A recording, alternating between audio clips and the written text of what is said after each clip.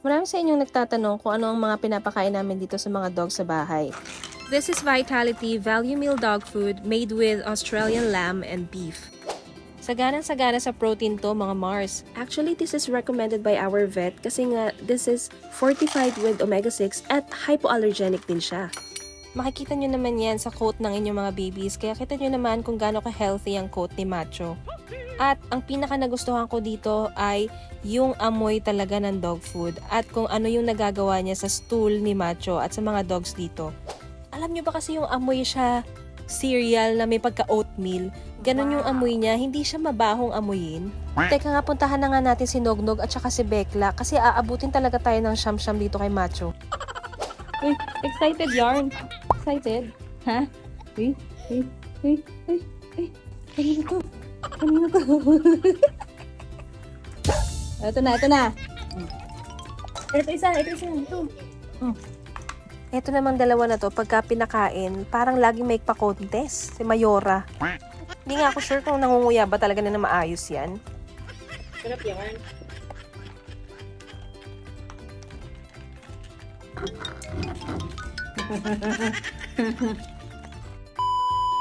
So after namin mag-walk ni Macho, ayan na nga, ginupitan ko na nga siya kasi ang haba-haba na ng buhok niya. Konting trim lang naman kasi ayoko naman din yung masyadong maiksi. Syempre, after grooming, maliligo siya at kita nyo naman kasi yung paa ni Macho, di ba? Punong-puno ng mga uling. Gagamitin namin itong Vitality Dog Shampoo and Conditioner. Mars, alam nyo na pabilib talaga ako nitong Vitality Shampoo at Conditioner na to. Kasi ang lambot niya talaga sa coat.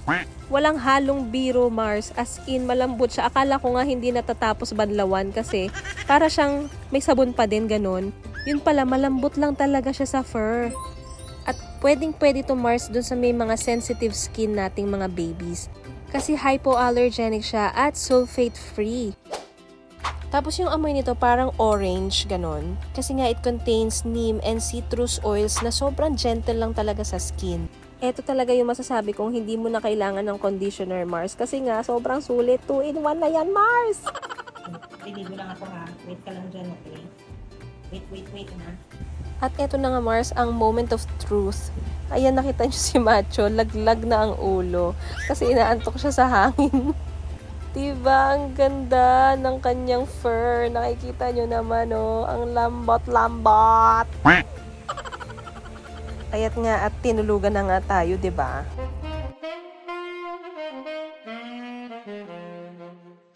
Macho. Wow, ang lambot naman ng hair ng baby, oh.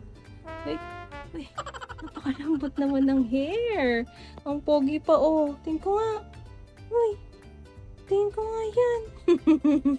ang pogi naman ng baby na yan. Uy, ano ba naman tong treats na to? What is this treat? Introducing Charco's Dog Treats. Siguro nagtataka kayo kung bakit mukhang uling yan. Kasi nga, it contains activated charcoal and Yucca shidihera. Basta plant yun. Kaya hindi lang to basta-basta treat kasi deodorizer siya at dental treat. Syempre kung meron si Macho, dapat meron din tong dalawang parang makina din ng bibig. Treats! Treaty treats! Kaya naman talaga. Lag, lag! Para kasi macho eh. Hindi marunong sumapo eh. O, Bekla! Ah, si Bekla, ang galing ah. Sanay na sanay Bekla. Ito namang next nating i-review ay itong Very Much Training Pads. Alam nyo naman na ang mga male dogs ay territorial talaga. And as a fur parent, mas okay din talaga sa akin na sanay umihi ang mga dogs natin sa loob ng bahay na hindi natin kailangan punas ng punas, no? So, ang napansin ko talaga dito, mas makapal siya at mas na-absorb niya talaga yung liquid. Unlike dun sa mga nabibili ko, nagli-leak talaga sila, lalo pag madami yung wiwi. So, ito yung mga nabibili ko sa local market. Ayan. Then, ito naman yung sa Very Much Training Pads. Ayan. Makikita nyo naman na makapal talaga siya. Kasi meron tong ultra-absorbent polymers and quick-drying technology. O, san ka pa? And if you have female dogs na pregnant, pwedeng-pwede nyo rin tong isapin sa kanila. And ito din ay mas magandang gamitin pag nagta-travel kayo kasi nga magaan lang siyang dalhin at disposable. So ayun guys, thank you for watching this video and I hope you learned something from me and Macho. Bye-bye! Happy birthday. deep